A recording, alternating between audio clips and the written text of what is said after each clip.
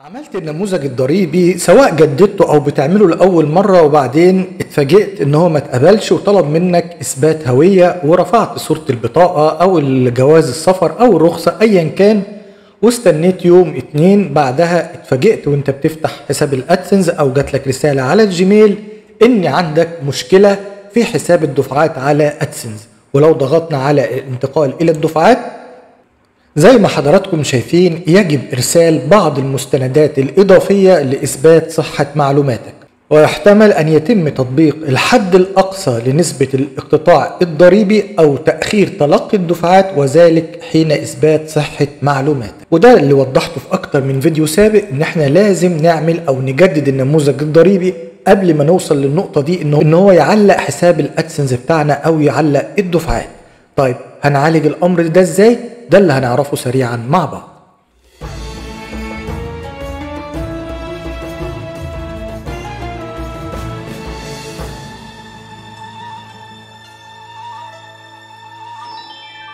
السلام عليكم ورحمة الله إزيكم؟ عاملين إيه؟ طبعا موضوع إن إحنا بعد ما بنبعت النموذج الضريبي بتاعنا سواء أول مرة أو بنجدده وبيطلب منا إثبات هوية غالبا بنسبة 90 أو 99% ده بيحصل مع الناس.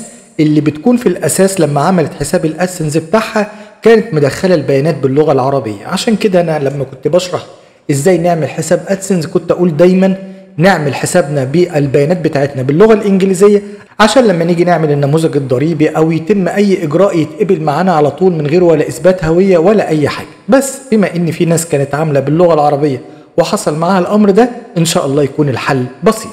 هنقوم ضاغطين على تعديل معلومات الضرائب هتقوم فاتحة معانا الصفحة ديت وزي ما حضراتكم شايفين لم تتمكن من إثبات صحة معلوماتك ويرجى تزويدنا ببعض المستندات الإضافية ويرجى التأكد من تطابق المعلومات الواردة في المستندات مع المعلومات الواردة في النموذج الضريبي بشكل تام وإعادة المحاولة. أنا بقى مش هضغط على إرسال المستندات المطلوب. أنا هجرب حاجة معاكم ونشوف هتنجح ولا لأ. هنعمل إيه؟ هنضغط على إرسال نموذج جديد. بس قبل ما نضغط على إرسال نموذج جديد أنا هطلب منك حاجة. المعلومات اللي موجودة قصادك دلوقتي سواء العنوان أو الاسم اللي موجودين هتعمل لهم نسخ زي ما وضحت في الفيديو السابق وعلى ال notes أو في الواتس أو الماسنجر وتحتفظ بيهم عشان هنعوزهم. دي حاجة. الحاجة التانية أنت بقى عامل حساب الأدسنس بتاعك باللغة العربية. فهنرجع خطوة لورا تاني كده وهنقوم رايحين على إدارة الإعدادات. وبعدين حضرتك هتلاقي اللي هو الاسم بتاعك أو العنوان اللي مكتوبين باللغة العربية هتاخدهم لي برضو نسخ وتلزقهم في المكان اللي هنحتفظ بيه بالبيانات بتاعتنا عشان هنعوزها بعد كده. سواء الاسم أو العنوان وخد لي سطر العنوان الأول. وخاصة لو انت مثلا صديق في دولة عربية والعنوان ما بيبقاش واضح قوي في الهوية بتاعتهم أو في الرخصة فخد لي اسم البلد والمحافظة وأول جزء من العنوان بتاعك اللي هو موجود في السطر الأول. تمام؟ فأنا هاخد البيانات دي كلها كده دلوقتي نسخ وأجي في ورقة بيضه وهبتدي أعمل لهم لصق.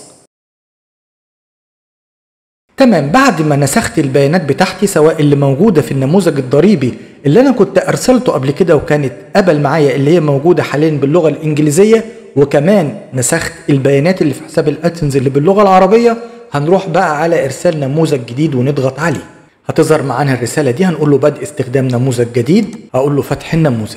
وبعدها هنبتدي بقى في الخطوات العادية البسيطة لإنشاء النموذج. أول حاجة معلومات عن الضرائب في الولايات المتحدة من نوع حسابك هنقول فردي وبعدين نضغط التالي. هل أنت مواطن مقيم؟ هقول له لأ. بعدين هختار أول نموذج معانا وهو ده الخاص بالأفراد الغير مقيمين في أمريكا وبعدين أقول له فتح النموذج. أول خطوة معانا وهي التعريف الضريبي. اسم المالك أو المستفيد. هبتدي أحط الاسم اللي باللغة الإنجليزية اللي كان في النموذج اللي قبل كده اللي اتقبل ونجرب. فهروح بقى على المكان اللي أنا محتفظ بيه بالبيانات دي وأعمل نسخ ولصق دلوقتي.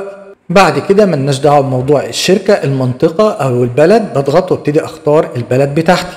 بعد كده موضوع التي اي ان ملناش دعوة بيه بقى خلاص ما بختاروش لأن أنا مش عايز أستفاد من المعاهدة عشان موضوع التي اي ان اللي إحنا بنستخدمه ده بيبقى غلط. وهعدي النقطة دي لأن أنا اتكلمت فيها والناس بقى زهقت. فهضغط التالي نيجي بقى للعنوان. بتيجي البلد جاهزة معاك؟ هاجي أعلم هنا عند العنوان البريدي مطابق لعنوان الإقامة. أعلم كده صح عشان ما ارجعش أدخل البيانات دي تاني.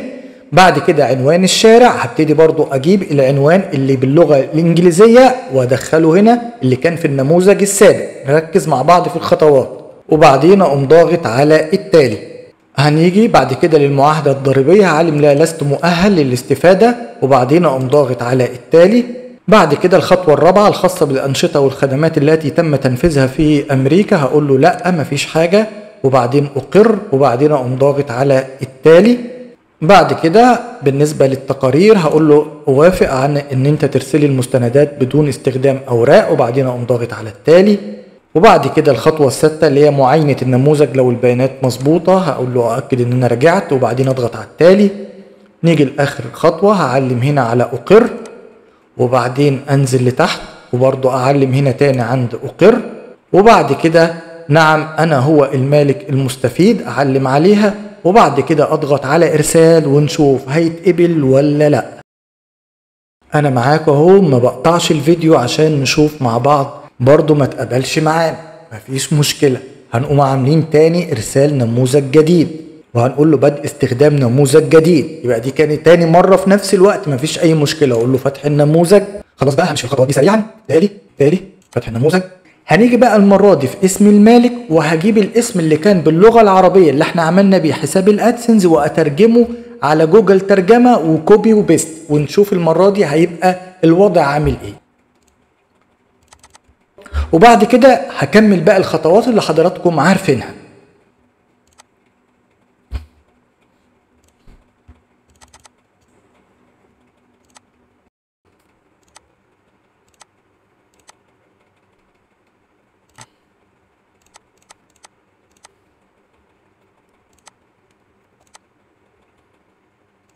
هنيجي بقى بعد ما عملنا النموذج للمرة التانية ونضغط على إرسال.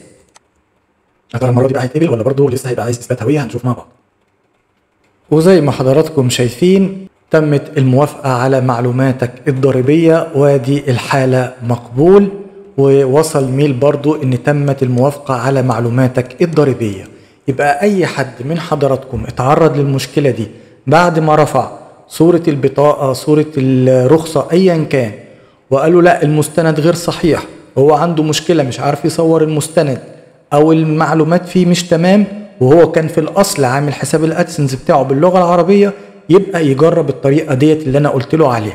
هيعمل إرسال نموذج جديد ما تقبلش هيرجع يعمل واحد تاني بعد ما ياخد بياناته اللي باللغة العربية ويبتدي يروح على جوجل ترجمة ويترجمها ويدخلها زي ما أنا عملت كده ويجرب مرة تانية. نفترض أنا مع المرة التانية تمت الموافقة. نفترض إن ما قال له لأ برضه يجرب برضه مرة ثالثه يرجع يترجم تاني بياناته ويدخلها وإن شاء الله هتتقبل معاه زي ما حضراتكم شفتوا. يبقى آدي الأمر بكل بساطة. يا ريت الناس بقى تشارك الفيديو عشان اللي عنده المشكلة ديت في إرسال الهوية يبتدي يجرب الطريقة دي وإن شاء الله تنفع معاه.